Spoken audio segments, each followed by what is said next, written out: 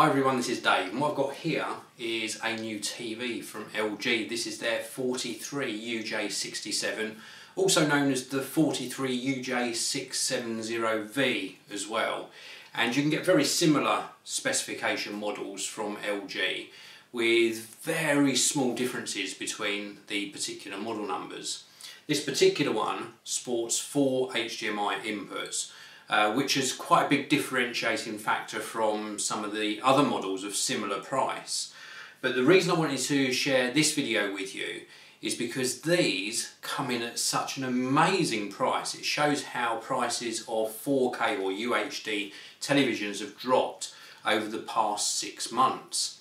In fact, at the time of doing this video, you can pick up a 43 inch 4K UHD HDR TV with the LG branding for between 360 and 400 pounds in the UK, which absolutely blows my mind at how uh, the prices have dropped so quickly for such a high quality panel. So let's take a closer look around the back, then I want to talk to you about WebOS and also some of the great smart features that are built into this particular television. You certainly won't be disappointed with the selection of inputs around the back. We've got USB input 1 just here, then we've got the first two HDMI inputs. Then we've also got the antenna for cable TV and satellite in. And then we've got some component uh, audio and video inputs as well.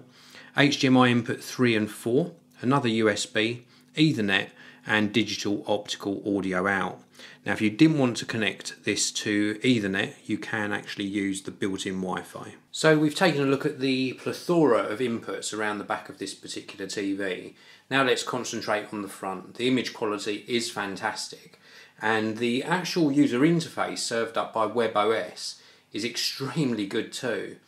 We've got these tiles at the bottom where we can access various smart features. We've also got access to the settings at the top here so we can actually uh, go up to here and we can change the audio, the inputs and go into the main settings.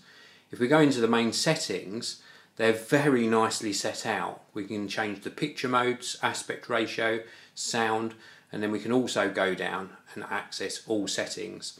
And the all settings panel is actually overlaid on top of whatever you're watching.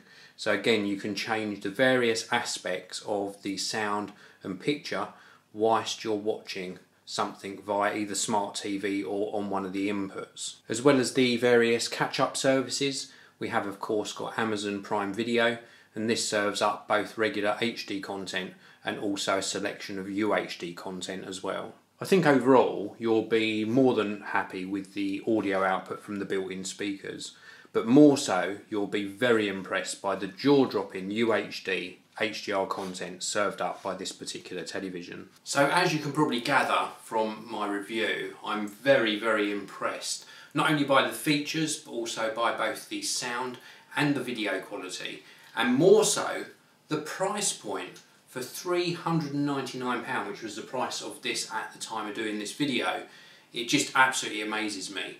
If you're in the market for a mid-size 4K UHD HDR capable television, then I can highly recommend this. Thanks very much for watching. If you enjoyed the video, please do hit the like button. Don't forget to subscribe, and I'll see you in another one very soon.